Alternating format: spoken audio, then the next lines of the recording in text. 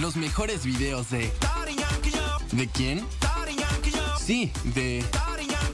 Siempre. Por MTV.